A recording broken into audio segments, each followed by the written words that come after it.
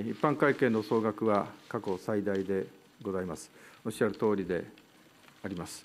で国債発行額も44兆円ということで、過去最高と、まあ、前年度と、まあ、今年度でありますが、ほぼ匹敵する額となっております。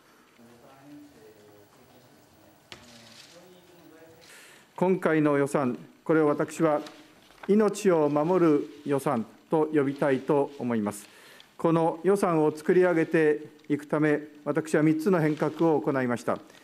まず予算編成にあたって、コンクリートから人へという理念を貫きました。子育て、雇用、医療、環境など、人の命を守る予算を確保することに全力を傾注しました。